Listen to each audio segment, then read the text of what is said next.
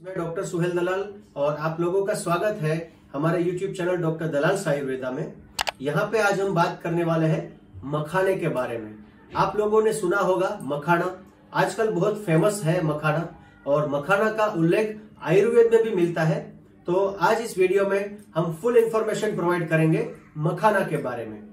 मखाना है वो स्पेशली बिहार और बंगाल के जो पोन्स है, वहाँ के जो तालाब है, उसमें मिलता है। उसमें उसके जो पत्ते होते हैं, वो पानी के ऊपर तैरते हैं, उसके नीचे एक डंडी होती है, जिसमें नीचे की ओर उसके बीज होते हैं। जब ये बीज निकाले जाते हैं छील के तो ब्लैक कलर के बीज होते हैं। उसको जब फ्राई करके फोड़ा जाता है, उसमें से मखाने बनते हैं। ये मखाने के, मखाने का सेवन कुछ लोग पाउडर के स्वरूप में उसको मखाने को अच्छे से भून के उसका पाउडर बना देते हैं। कुछ लोग मखाने को दूध के साथ मिला के मखाने की खीर बना के उसका सेवन करते हैं और कुछ लोग जो है वो मखाने को पॉपकॉर्न की तरह उसको फोड़ के भी उसका सेवन किया जा सकता है। तो इस तरीके से अलग अलग तरीके से मखाने का सेवन किया जाता है। मखाना को एक कैल्शियम का रिच सोर्स माना जाता है बॉडी के लिए और ये प्रोटीन और फाइबर का भी बेस्ट सोर्स होता है। तो अब हम देखते हैं मखाने के बारे में आयुर्वेद क्या कहता है। मखाने को फॉक्स नट कहा जाता है और मखाने का अगर गुण देखे जाए तो वो गुरु और स्निग्ध है मतलब कि स्लाइटली कफ वर्धक है ये हेवी होता है बॉडी में। और उसका जो रस है उसका जो टेस्ट है वो मधुर और हल्का सा कड़वा और कसेला होता है उसका स्वाद कि जो आ, उसका मेन रस जो है वो मधुर होता है। उसका जो वीर्य है उसकी वो शीत है मतलब शरीर के लिए वो ठंडक का उसका जो गुण है, वो शरीर के लिए ठंडक वाला है। मतलब जिन लोगों को गैस एसिडिटी की शिकायत रहती है, उन लोगों के लिए मखाना बेस्ट है। और मेडिसिनल एक्शन की अगर हम बात करें तो त्रिदोष के हिसाब से वात पित्त कफ के हिसाब से ये बेस्ट वात पित्त को बैलेंस करने वाला और त्रिदोष नाशक भी है। वाजीकरण औषध है मतलब बेस्ट सेक्सुअल टॉनिक है। डेबिलिटी जनरल डेबिलिटी यानी शरीर की दुर्बलता को दूर करता है। अब हम आइए देखते हैं मखाने के अलग अलग रोगों में इसके उपयोग के बारे में। यहाँ पे मैं आपको फुल डिटेल बताऊँगा कि कौन से रोग में किस तरह से मखाने का सेवन हमें करना चाहिए। जिन लोगों को कमज़ोरी रहती है वीकनेस रहती है बार बार थक जाते हैं तो वैसे लोगों को सुबह खाली पेट मखाने की खीर का सेवन करना चाहिए। खाली पेट सुबह मखाने की खीर का सेवन करने से शरीर की वीकनेस दूर हो जाती है और शरीर को ताकत मिलती है। जो लोगों की सेक्सुअल डिज़ायर वीक होती है मतलब जिनको सहसयन करने की सेक्स की इच्छा कम होती है। वैसे लोगों को मखाने को फोड़ के उसका स्वरूप, उसका आप रेगुलर सेवन कर सकते हैं। मखाने को फोड़ के उसका आप सेवन कर सकते हैं। उसमें उसमें नमक डाल के उसका सेवन किया जाता है ताकि वो शरीर में हैवी ना पड़े। तो उस हिसाब से मखाने का सेवन सुबह शाम करने से सेक्सुअल डिज़ायर में बढ़ोतरी होती हुई देखी जाती है। और जिन लोगों को, जिन लेडीज़ को डिलीवरी आती है तो पोस्ट लेबर डिलीवरी के बाद मखाने की खीर खिलाई जाती है। मखाने की खीर जो है, वो वात और पित्त की शामक होती है। इसीलिए डिलीवरी के बाद सुबह शाम दोनों टाइम खाना खाने के एक घंटे के बाद मखाने की खीर का सेवन करना पोस्ट लेबर में बहुत फ़ायदा कारक सिद्ध होता है। उसके अलावा जिन लेडीज़ को ल्यूकोरिया की शिकायत है, ल्यूकोरिया यानी सफ़ेद पानी श्वेत प्रदर का होना, जिन लेडीज़ को बार बार सफ़ेद पानी की शिकायत होती है, श्वेत प्रदर होता है, उसकी वजह से हाथ और पैरों में दर्द होना, स्पेशली कमर में दर्द होना और पैरों के जो काफ मसल्स है, उसमें पेन रहता है और दुर्बलता वीकनेस होती है।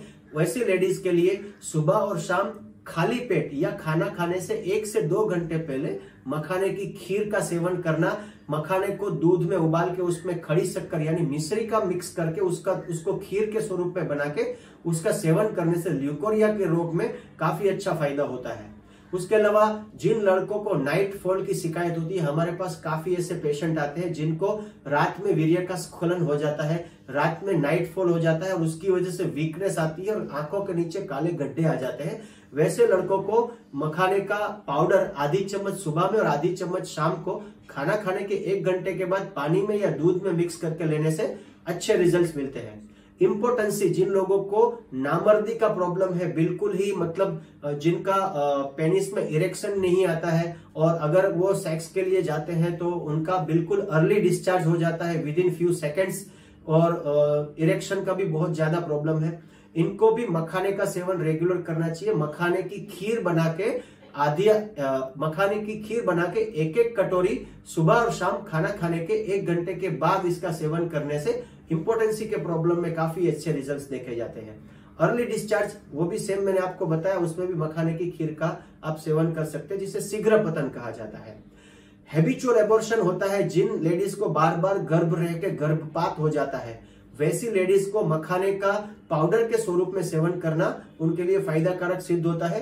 एक चम्मच सुबह और एक चम्मच शाम को खाना खाने के एक घंटे के बाद मखाने के पाउडर का तीन महीने तक रेगुलर सेवन करने से गर्भ अच्छे से रह जाता है। उसके बाद जिन लोगों को हार्ट डिसीज है, जो हार्ट डिसीज के पेशेंट है, उनके लिए तो मखाना वरदान के स्वरूप है, क्योंकि ये शरीर में वायु और पित्त का शमन करता है। हार्ट डिसीज के पेशेंट को स्पेशली मखाना खाना चाहिए। वो इसको एक फ़ूड के स्वरूप में या स्नैक्स के स्वरूप में दोपहर को चार पाँच बजे के टाइम पे जब भूख लगे, वो टाइम पे मखाने का सेवन स्नैक्स के स्वरूप में भी कर सकते हैं। एक बाउल मखाना लिया और उसको फोड़ के उसमें थोड़ा सा नमक डाल के आप खा सकते हैं।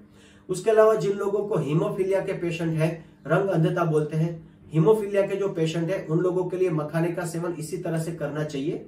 रक्त पित्त जिनको होता है, जिनको नेजल ब्लीडिंग होती है, जिस, जिनकी बार बार नाक में से अगर गर्मी में जाते हैं तो नाक में से ब्लीडिंग शुरू हो जाती है। वैसे पेशेंट के लिए मखाने की खीर का सुबह खाली पेट सेवन करना बहुत हितावह साबित होता है। जिनको बर्निंग सेंसेशन होता है। कुछ लोगों को हाथ और पैरों के तलुओं में बहुत जलन होती है और ऐसे हाथ करते हैं तो इसमें से ऐसे पसीना टपकता है। इतना ज़्यादा पसीने का प्रॉब्लम और गर्मी का प्रॉब्लम होता है। इसको भी वायु और पित्त की ही वृद्धि कही जाती है। इसमें भी सुबह खाली पेट मखाने की खीर का सेवन करने से बहुत उत्तम रिजल्ट्स प्राप्त होते हैं। जिन लोगों को रेगुलर बेल्चिंग रहता है गैस एसिडिटी गैस एसिडिटी रहती है, उन लोगों के लिए मखाना एक सुपर फ़ूड है, जिसका सुबह में खाली पेट खीर के स्वरूप में सेवन किया जा सकता है। न्यूरोपैथी एंड बर्निंग सेंसेशन जिन लोगों को डायबिटीज़ की वजह से या कुछ और कारणों की वजह से हाथ और पैरों के तलवे में जलन होना और न्यूरोपैथी की वजह से पेन होता है, उनके लिए भी मखाने का सेवन खाना खाने से, दूध के साथ मिक्स करके खाना खाने से एक घंटे पहले मखाने का सुबह शाम सेवन करने से एक एक चम्मच मखाने का पाउडर एक कप दूध के साथ खाना खाने से एक घंटा पहले सुबह और शाम सेवन करने से न्यूरोपैथी के प्रॉब्लम में और बर्निंग सेंसेशन में काफ़ी अच्छे रिजल्ट्स मिलते हैं। उसके अलावा जिन लोगों को फीवर बहुत लॉन्ग टर्म फीवर आया हो, कोई भी लॉन्ग टर्म फीवर की वजह से जब वीकनेस आ जाती है तो वो फीवर को ठीक होने के बाद मखाने का सेवन करने से पेशेंट को रिकवरी जल्दी आती है और वो जल्दी फिट हो जाते हैं। जिनको डिसेंट्री का प्रॉब्लम होता है मतलब जिनको पेट में दर्द होकर बार बार दस्त होते रहते हैं, वैसे लोगों के लिए मखाने का सेवन करना अच्छा होता है, लेकिन ऐसे लोगों को मखाने का सेवन दिन में एक बार आधी चम्मच पाउडर के स्वरूप में खाना खाने के एक घंटे के बाद करना चाहिए।